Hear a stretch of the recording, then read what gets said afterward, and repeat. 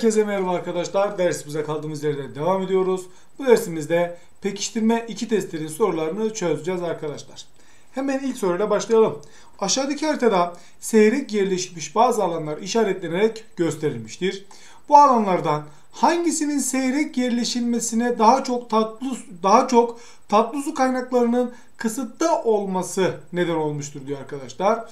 Evet, bir numaralı bölge arkadaşlar e, ülkemizde tatlı su kaynaklarının sıkıntısının çekildiği bir bölge değil. Orada daha çok sert iklim koşullarının olduğunu söyleyebiliriz arkadaşlar. 2 numaralı bölge yoğun yerleşmiş alanlardan birisi olarak karşımıza çıkar. 3 numaralı bölgeye baktığımız zaman arkadaşlar Biga Yarımadası'na denk gelmekte. Orası biliyorsunuz ulaşıma sapa kaldığı için e, seyrek nüfuslu bir bölge olarak karşımıza çıkar. 5 numaralı yere baktığımız zaman arkadaşlar e, ne diyebiliriz oraya? Hemen bakalım. 5 numara bölgede arkadaşlar karstik yapılar etkili biliyorsunuz.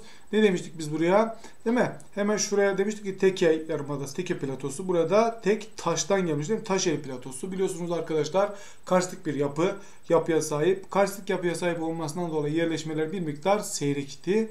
Fakat 4 numaralı yere baktığımız zaman Tuz Gölü ve çevresini görüyoruz arkadaşlar. Tuz Gölü ve çevresi bildiğiniz gibi ülkemizde su kaynaklarının kısıtlı olduğu bir bölge, kurak bir bölge arkadaşlar. Buna bağlı olarak sorumuzun doğru cevabı 4 olan Denizli seçeneği olur arkadaşlar. Hemen sağ taraftaki diğer soruma geçiyorum. Türkiye'de deniz, Türkiye'de deniz, demir ve karayolu olanaklarının gelişmiş olduğu kıyın kentlerde sık yerleşmeler kurulmuştur. Haritada işaretli alanların hangileri parçada belirtilen duruma örnek olarak gösterilemez demiş arkadaşlar. Duruma örnek olarak gösterilemez demiş. Bakalım hemen 1, 2, 3, 4, 5 numaralı yerler verilmiş. Arkadaşlar 1 numaralı yere baktığımız zaman Doğu Karadeniz ve 4 numaralı yere baktığımız zaman arkadaşlar Menteşe kıyıları kıyılarını göstermekte. E, buralar arkadaşlar ulaşım olanaklarının gelişmediği alanlar. E, dolayısıyla 1 ve 4 olan Bursa seçeneği benim burada sorumun doğru cevabı olacaktır diyebiliriz. Hemen diğer soruları açıyorum arkadaşlar. Evet ikinci sorumla devam ediyorum. Türkiye'nin idari birimleri ile ilgili aşağıda verilen özelliklerden hangisi hatalıdır, hatalıdır demiş arkadaşlar. Bakalım. Güvenlik, sağlık, eğitim, adalet gibi tüm yetkiler merkez teşkilatına merkez teşkilatında toplanmıştır. Doğru arkadaşlar. Ülkemiz merkeziyetçi bir yapıya sahip biliyorsunuz. Yerleşim birimleri idari fonksiyonlarına göre köy, ilçe ve il olarak sınıflandırılır. Doğru. 30 tane il büyük şehir statüsündedir. Doğru. İller merkezi idare tarafından atanan vali tarafından yönetilir. Sınırları içinde birden fazla ilçe ve bu ilçeye bağlı köyler bulunur. Doğru. Köy merkezi idare tarafından atanan muhtar. Hayır. Muhtar merkezi idare tarafından atanmaz. Muhtar seçimle iş başına gelir ve ihtiyar heyeti tarafından yönetilen en küçük idare birimidir. Aslında cümlenin sonu doğru ama başı yanlış. O yüzden sorumuzun doğru cevabı E seçeneği oluyor arkadaşlar.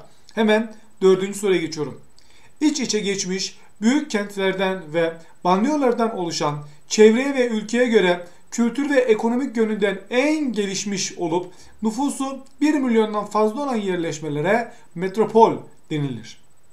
Buna göre aşağıdaki şehirlerden Hangisi metropol özelliği taşımaz? Bayburt, İzmir, Ankara, Bursa, Adana olarak karşımıza çıkar.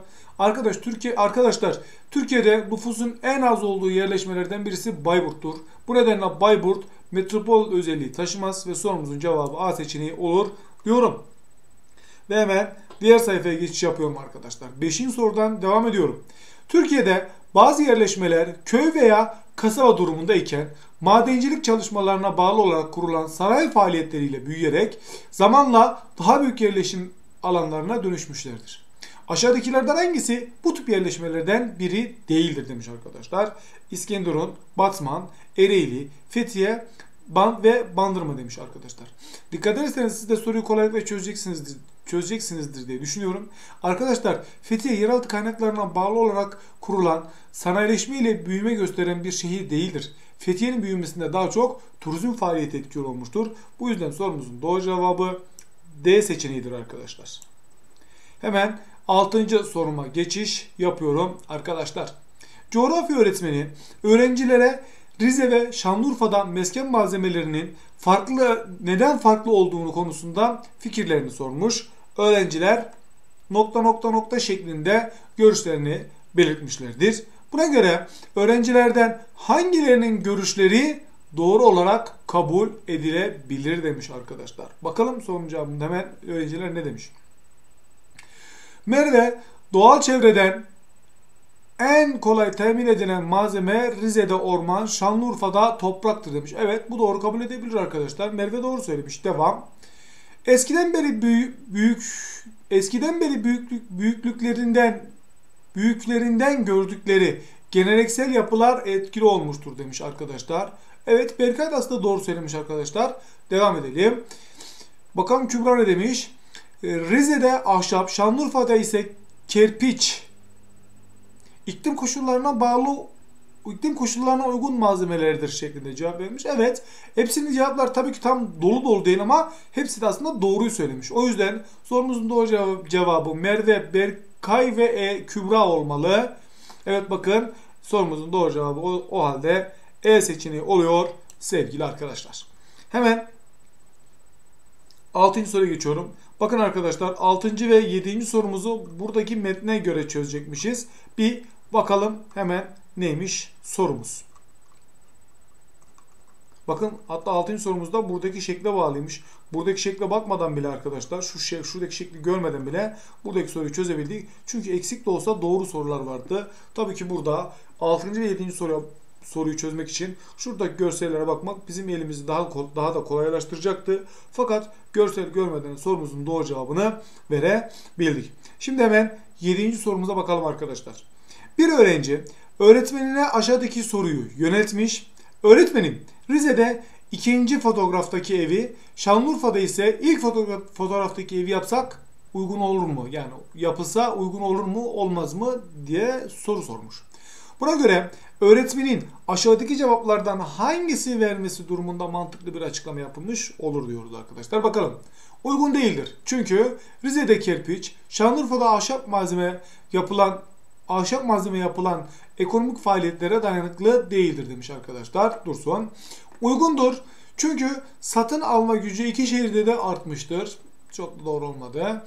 Uygun değildir. Çünkü Rize'de aşırı yağışlar kerpiçe, Şanlıurfa'da ise aşırı sıcaklar akşama zarar verir. İşte arkadaşlar en mantıklı bu gibi geldi. Diğerlerine bakalım. Hemen biraz şöyle yapayım. Uygundur çünkü ahşap ve kerpiç her iklime de dayanıklı malzemelerdir. Hayır. Uygun değildir çünkü Rize'de engebeli, Şanlıurfa'da ise sade olmaz arkadaşlar. Rize çok yağışlı olduğu için kerpiç yapılar buralarda dayanıklılığını kaybeder. Şanlıurfa'da kurak ve sıcak iklim olduğu için ahşap malzeme kurma ve yanma gibi riskler oluşturur. Buna bağlı olarak arkadaşlar sorumuzun doğru cevabı Ceyhan seçeneği olarak karşımıza çıkar diyorum. Evet bu iki soru sorunun çözümü görsellerle arkadaşlar bizim daha kolay çözmemiz sağlanmaya çalışılmış. Görsellerle desteklenmiş. Tabii görsel olmadan da çözülemez mi? Bir halde çözebilirdi arkadaşlar. Bunu altın soruda beraber yaptık. Peki bu dersimiz de burada bitti arkadaşlar. Bir sonraki derste görüşmek üzere. Kendinize iyi bakın.